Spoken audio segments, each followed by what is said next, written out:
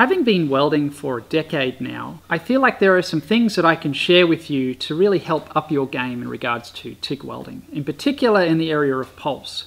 So anyway, let's jump into this. Hmm, AC, that's balled the tip because it was AC. So that was probably a great example of check the settings of your welder before you start. DC TIG, that'll be better.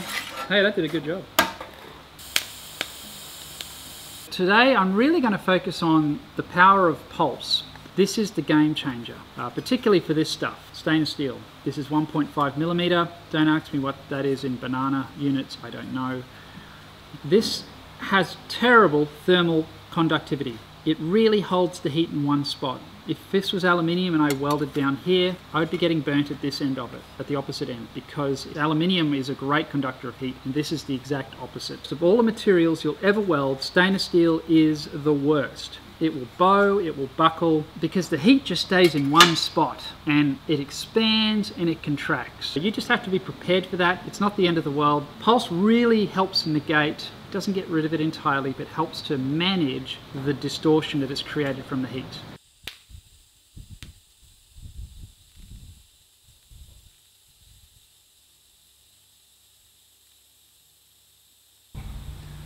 So that was 90 amps. What if I said that what would fix this is if I increase the amperage?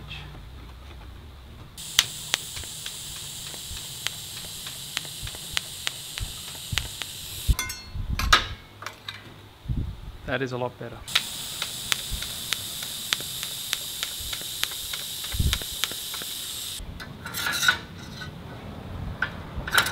That, my friends, was welded at 150 amps. So 90 amps and dog's breakfast, 150 amps, and that's what I would call a very respectable weld.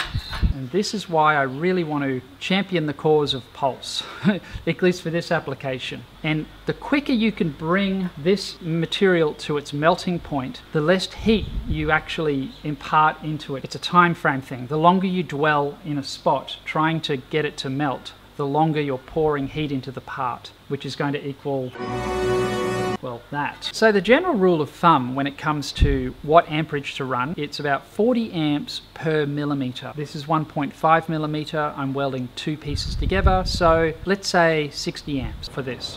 Why don't we try that?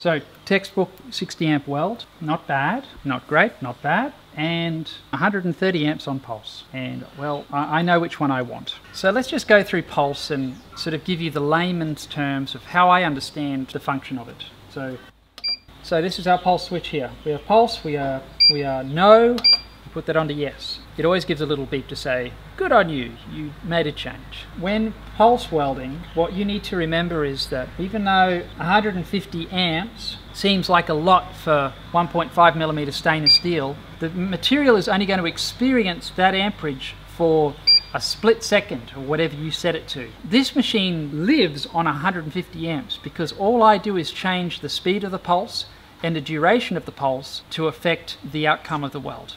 It really is that simple. How we uh, do that is we're going to press the, the knob. Let's go through. This is our base pulse. This is preset at the factory and you basically don't have to worry about it. It sort of automatically goes up and down depending on what you're doing. This is the peak of the pulse. This is the power side. This is the rest side. 21, that's fine. The next is we have our hertz. And the easiest way to describe hertz is the speed of the pulse. The higher this number, the quicker the pulse and for the most part between 0.9 and 1.2 is a good range. Occasionally if I'm welding something really thin I'll jack that number right up to 33 and at that point it sounds like even though I'm in DC, I'm welding in AC. And that's a useful tool that I that Jody from Welding Tips and Tricks talks about. He calls it the rule of 33, 33 amps, 33 pulses per second with 33% background Everything is 33 and that's a really useful trick. You can TIG weld razor blades together with that setting, no problem.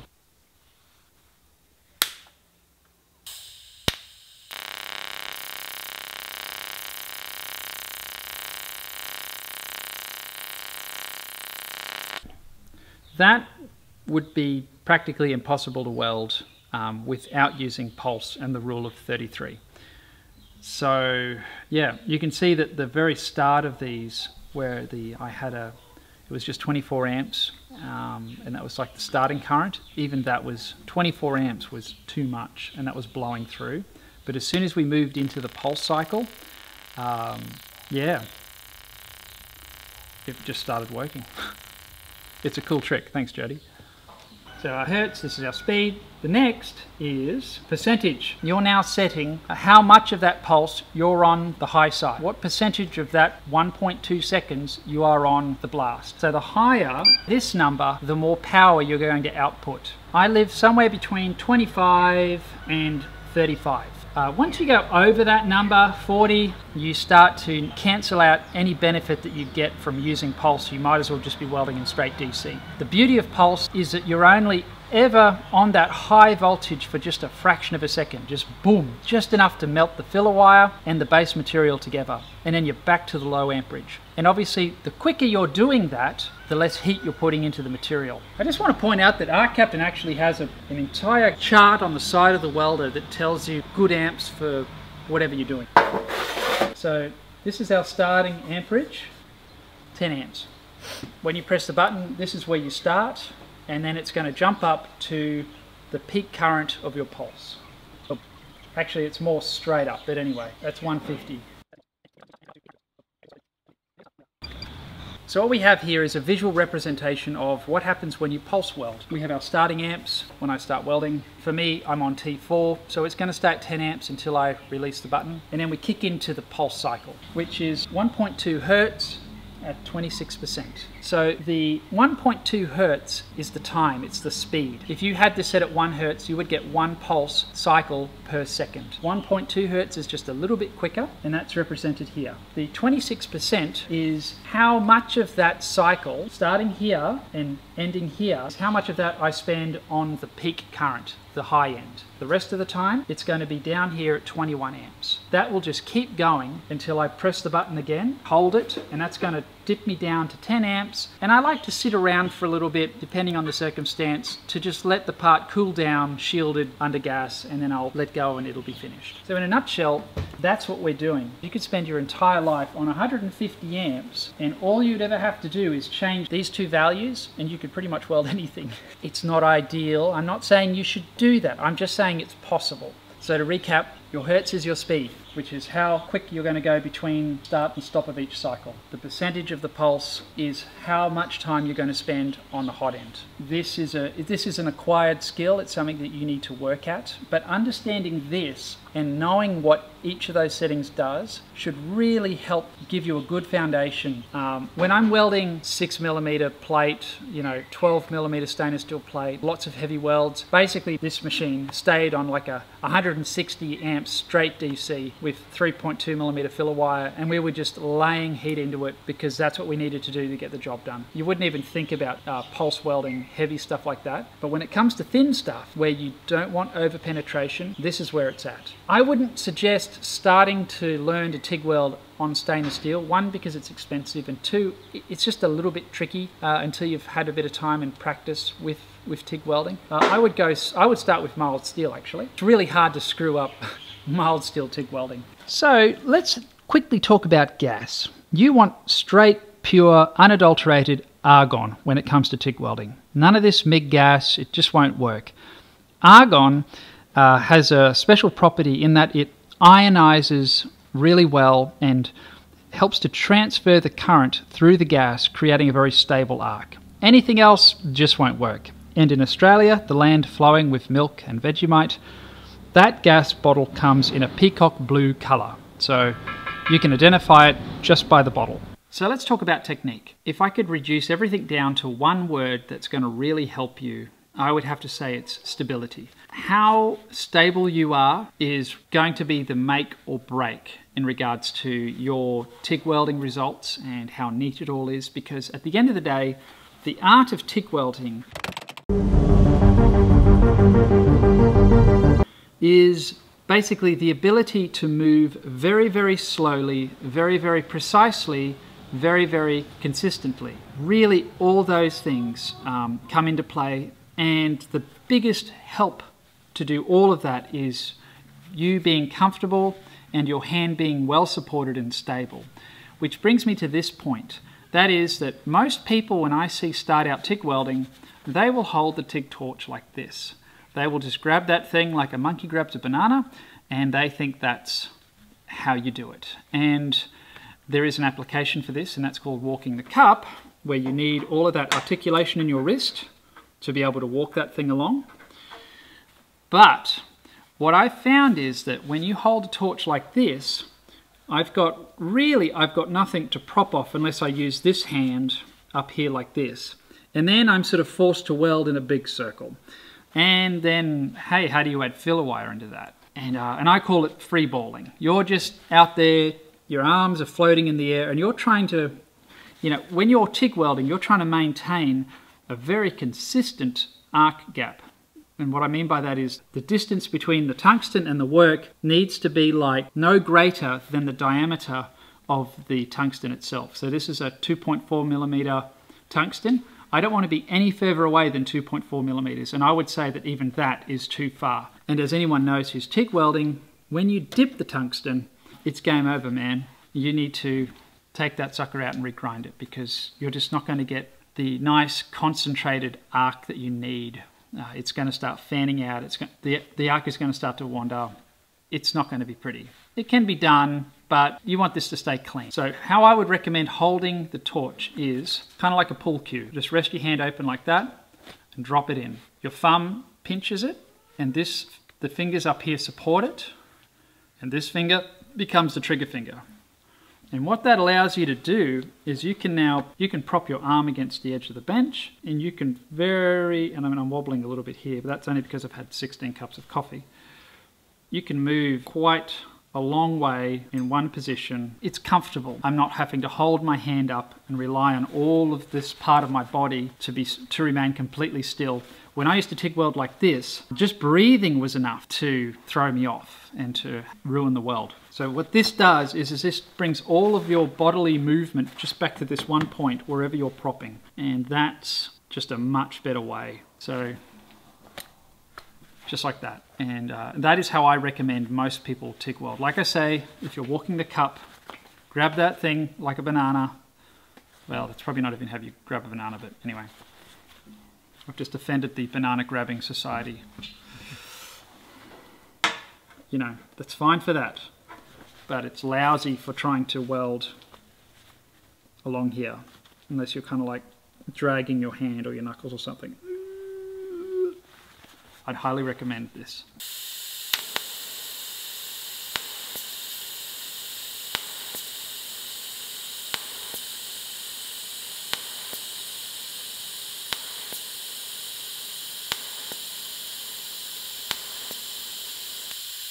So what I just demonstrated was the whole, the mechanics of the movement during pulse.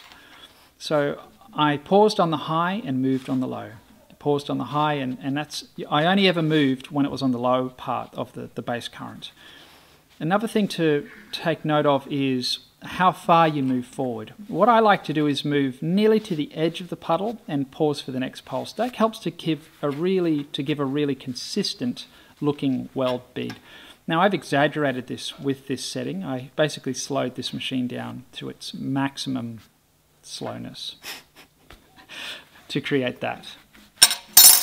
The next most annoying thing when it comes to TIG welding uh, is tacking. This is where things can really go awry and actually Pulse is a great help here as well because like I talked about earlier, you can bring the metal up to temperature really quickly in a short period of time and just help to bridge the two pieces of material. So I've still got this set on tacking at all possible. If it is possible, you, and if you don't have filler wire, you don't want any gap between your two pieces. You want them to be touching. And, uh, and we'll just do this first tack without filler wire.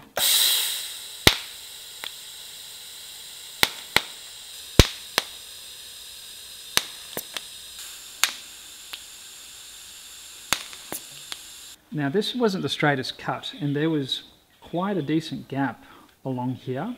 When I put that tack there, that contracted so much that it actually pulled this end piece together.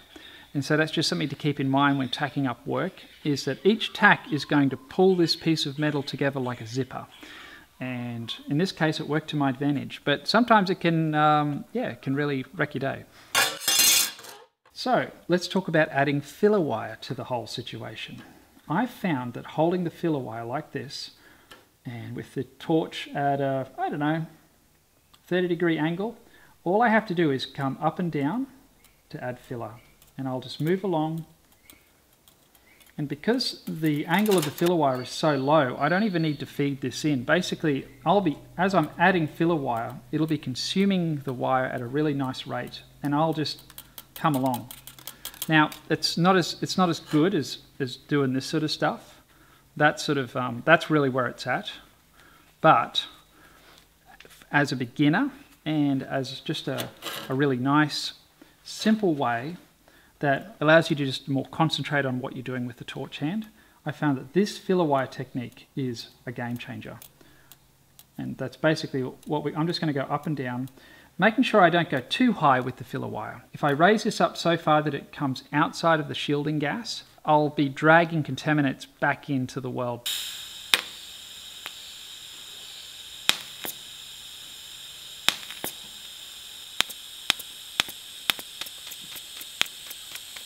No doubt my brother will have sped that up in editing, but that was as slow as I could go to help demonstrate the, the mechanics of it. And going so slow, my timing was a bit out, but even so, we have a really nice consistent bead profile, meaning that I added about the same amount of filler wire for each weld.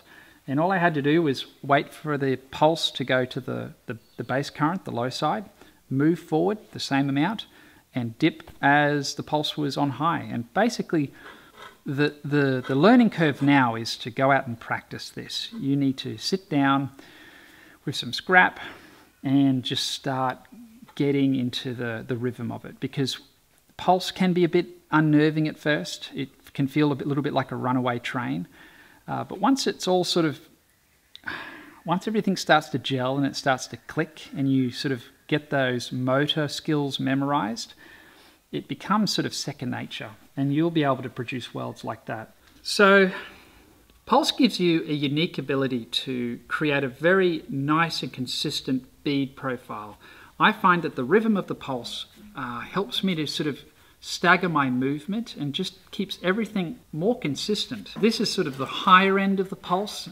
Uh, these are sort of stainless steel ball caps. This is a job that I'm currently doing and should probably be doing as opposed to making this video, but hey, priorities. And as you can see, Pulse is the game changer. I can do a nice job on straight DC, but I can do a nicer job when I utilize Pulse. And it really has a wide variety of applications. I guess the last thing I need to mention is all of this knowledge now is good to have, but it's useless unless you put it into practice. So my encouragement for you is if you really want to get good at this, it's just going to take time. It's time in the helmet. That's what it boils down to.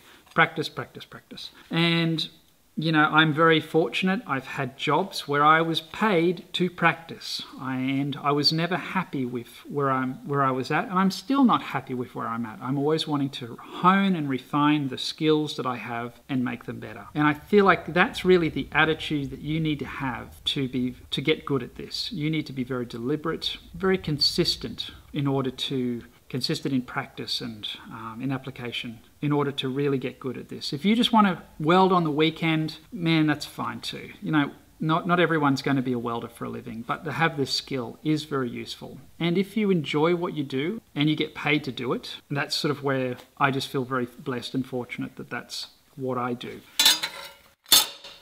And, you know, get yourself a decent machine.